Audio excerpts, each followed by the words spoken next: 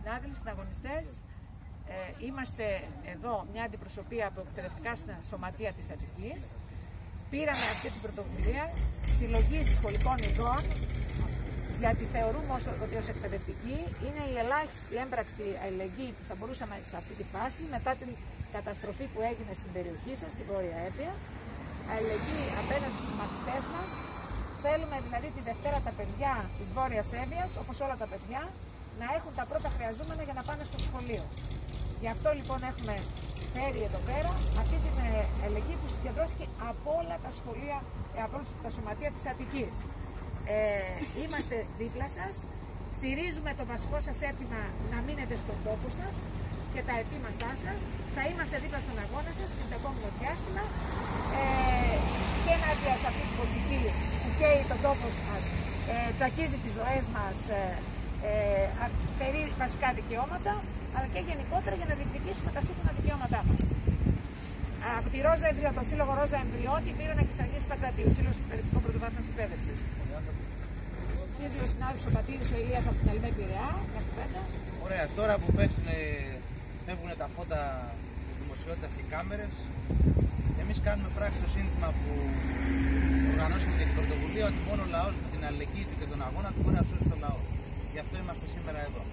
Τώρα που αρχίζουν οι business στα καμένα και που προσπαθεί ο κόσμος να μείνει στον τόπο του, εμείς είμαστε εδώ. Συγκεντρώσαμε ένα ελάχιστο αυτό σχολική βοήθεια. Δεν είναι βέβαια αυτό που θα σώσει την κατάσταση, αλλά είναι σημαντικό από δεκάδες σχολεία στο Πειραιά. Ε, συγκινητική προσπάθεια. Χθε διοργανώσαμε και συναυλία. Ε, κλείσουμε του κόσμου, αλληλεγγύη.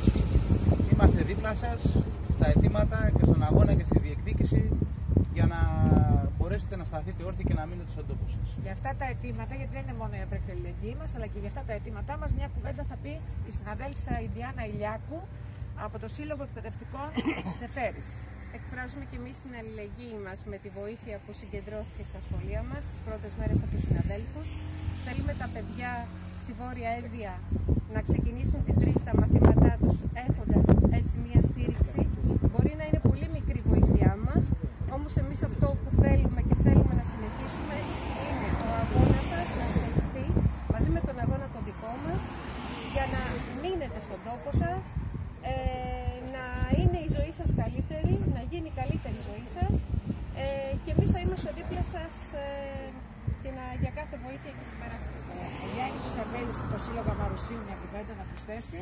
Εμείς ήρθαμε, εκφράσαμε με αυτό τον τρόπο το ελάχιστο που μπορούμε να κάνουμε σαν σωματείο αλλά και σαν σωματεία της Αττικής να βοηθήσουμε δηλαδή αυτά τα παιδιά τα οποία όντως δοκιμάστηκαν το προηγούμενο διάστημα εγκατελειμμένα όπως και οι κάτοικοι και οι γονείς τους από το κράτος μια αλληλεγγύη η οποία νομίζω ότι είναι ανάμεσα και την προστάμα απέναντι στους εργαζόμενους και τους αγρότες εδώ της περιοχής αυτό δείχνει τη δύναμη την οποία έχει ο λαός στα χέρια του μέσα από συλλογικές διαδικασίες να διεκδικήσει, να παλέψει αυτά τα οποία δικαιούται. Είναι ένας αγώνας που θα είμαστε και στην πορεία γιατί ιδίως για εσάς όπως βέβαια και για τους άλλους εργαζόμενους αλλά και για εσάς εδώ στην περιοχή δεν πρέπει να σταματήσει, πρέπει να συνεχιστεί, να ξανανιώσετε, να ξαναζωντανέψετε τον τόπο σας.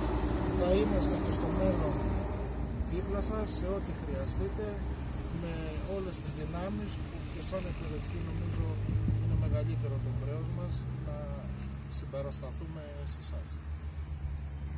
Να ευχαριστήσουμε τα σωματεία ε, των εκπαιδευτικών που και αυτά ε, πήραν πράγματα από το ειστέρημα των ανθρώπων αυτών και τα φέρανε εδώ πέρα για να μπορέσουμε από Δευτέρα να δώσουμε στα παιδιά, από αύριο μάλλον από σήμερα να δώσουμε στα παιδιά για να μπορούν να μπουν καλύτερα με καλύτερη ψυχολογία μέσα στις, ε, στις τάξεις. Ε, εμείς είμαστε εδώ, συνεχίζουμε, δεν σταματάμε. Φτιάξαμε αυτό το κέντρο αλληλεγγύης εδώ πέρα που είναι σημείο πλέον αναφοράς. Εδώ πέρα μαζεύεται ό,τι έρχεται από το ειστέρημα του λαού της υπόλοιπης Ελλάδος και από εδώ φεύγει υποδειγματικά για να πάει στον κάθε άνθρωπο που έχει πραγματικά ανάγκη. Να σας ευχαριστήσω, να σας ευχαριστήσω ακόμα μια φορά. Να είστε καλά. Ε, η υπόσχεση είναι ότι δεν θα σταματήσουμε. Δεν θα σταματήσουμε αν όλα αυτά που έχουμε βγάλει, που ψηφίστηκαν στο συλλαγητήριο, στο μεγάλο συλλαγητήριο που έγινε εδώ πέρα, δεν γίνουν πράξη. Δεν πάμε βήμα πίσω, πάμε μπροστά μαζί με τον κόσμο της περιοχής μαζί με τα, με τα σωματεία, μαζί με τους ε, ανθρώπους που, που, που, που πάθανε ζημιά από την πυρκαγιά για να ξαναφτιάξουμε το μέλλον μας και να το κάνουμε καλύτερο από ό,τι ήταν. Γιατί και πριν το μέλλον μας, το, πώς το λένε, η ζωή μας εδώ πέρα, τι φανταστεί κανένας ότι ήταν καλύτερο. Άρα λοιπόν εμείς συνεχίζουμε για να τη φτιάξουμε ακόμα καλύτερα από ό,τι ήταν πριν. Να είστε καλά, σας ευχαριστούμε πολύ. Και εμείς λέμε ότι ήρθαμε σήμερα, αλλά δεν θα είναι η τελευταία φορά. Ότι θα συνεχίσουμε να είμαστε δίπλα σας και να διεκδικούμε επίσης για τους μαθητές των πυρόπληκτων περιοχών ένα ολοκληρωμένο πλαίσιο ετοιμάτων. Ε, γιατί πρέπει αυτά τα παιδιά να στηριχτούν.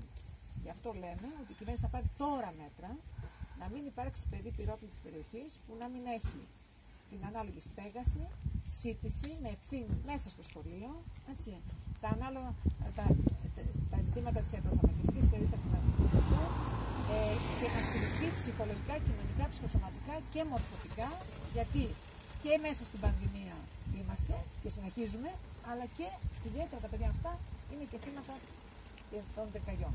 Να είστε καλά, καλή δύναμη, καλά όλα να κάνετε. Εσείς να είστε καλά. Να είστε καλά.